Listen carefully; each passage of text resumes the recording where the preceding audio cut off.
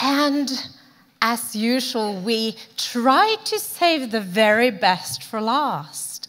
We grabbed the researchers before they left yesterday, and now we have the icing on the cake, so to speak, the patient community, the global patient community. This year we have many new countries represented.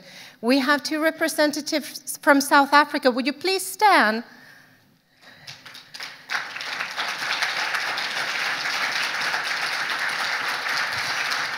Thank you. And thank you for coming in the last minute. Everything was kind of rushed into. We're thrilled that you made it. We also have Serbia. We have a, a large Swiss uh, delegation, and they brought chocolate. So I like them very, very much. Thank you. We also we also have representatives from Greece. We're thrilled to have you here. Are you in the room this morning? Yes. And we had Dr. Fuchs from Israel with us. I enjoy that very much. I did not fall asleep, but I learned that I'm, I'm a, a mid sleeper, not very short, so for once I feel a little longer. We have Chile, we had Estonia, and Lithuania for the first time. And with no And thank you all so much for joining in to the global community of Alphas. And with no further ado, we will present to you the global patient community.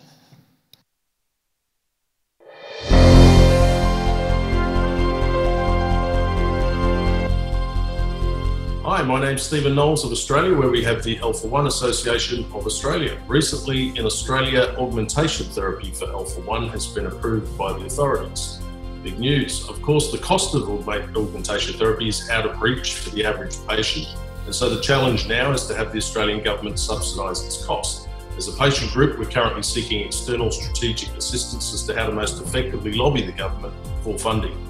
Also, we remain keen on establishing an Australian Alpha 1 register in collaboration with Charlie Strange's Alpha 1 Research Registry.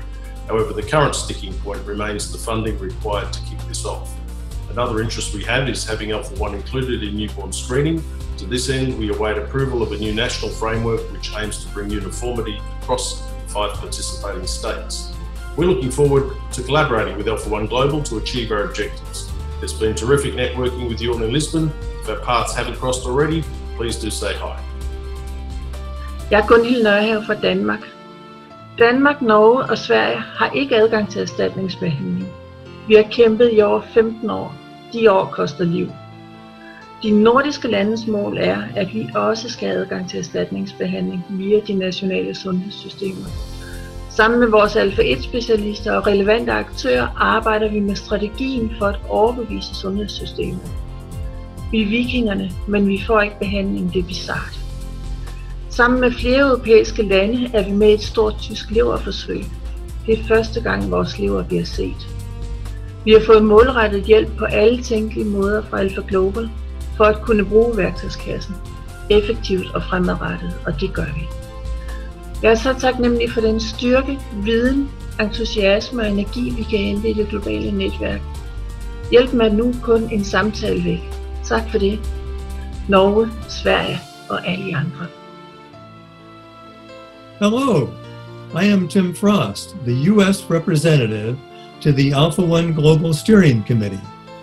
In the U.S., we are served by two organizations AlphaNet, a not for profit organization which provides health management services for over 6,000 alphas on augmentation therapy.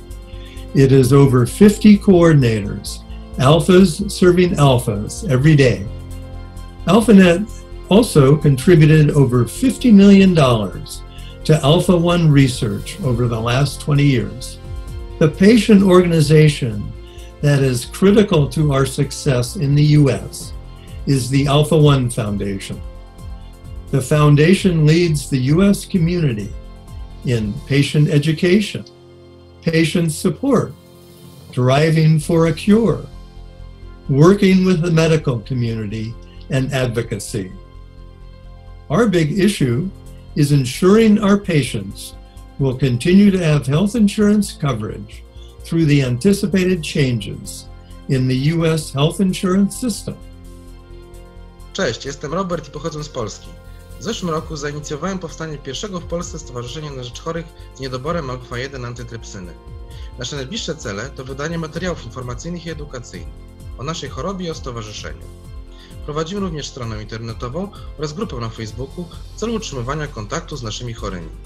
Na tym etapie chcemy przede wszystkim być widoczną reprezentacją chorych z niedoborem alfa-1 antytrypsyny w grupie około 2 milionów chorych z chorobami rzadkimi w Polsce.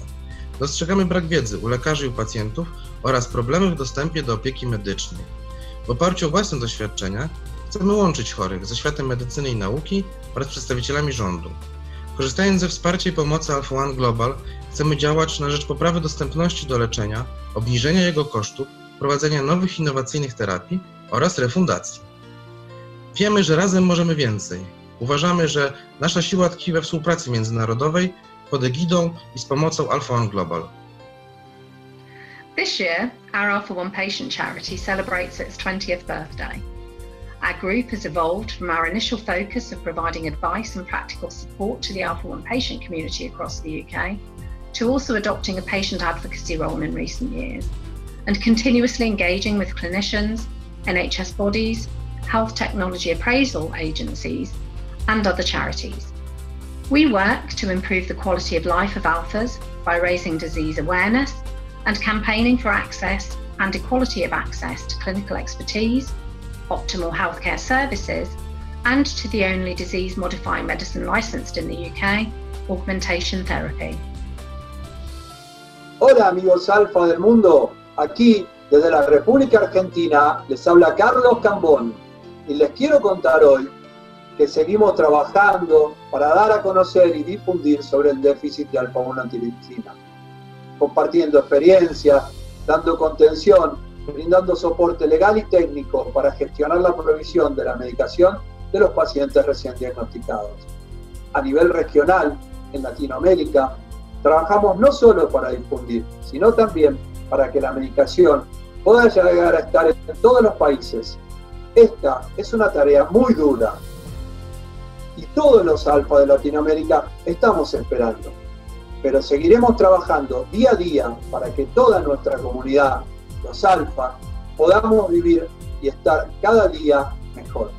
Un beso la Buenos Aires. My name is Frank Willison. I'm from Alpha One Plus in Belgium, and uh, today we are eight patients in Belgium, and we have no access uh, for new treatment in Alpha One antitrypsin deficiency. That's our most important problem to have access to care. We know in other countries it's quite different. But uh, also in the Alpha One Global Group, we see that in most countries in Europe and also around the world, it's very difficult to get some treatment. And that's our mission on the Alpha One Global Group. So it, it's a great pleasure that you are in. And let's uh, stay together and exchange all our ideas about what will come up because there are a lot of new faces all over the world, lot of new researchers, and we will go for the next step in the Alpha One community. Thank you very much.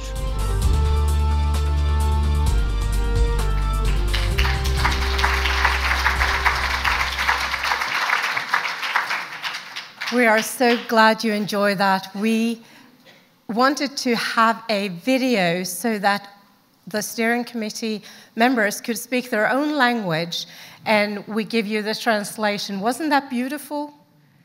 So thank you.